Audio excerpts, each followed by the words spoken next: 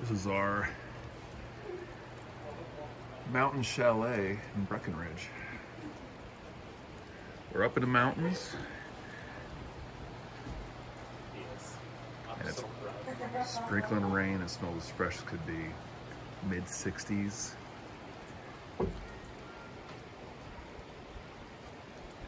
And yet we're um, two miles from a brewery. This guy. Oh my goodness, I'll let anybody rent here.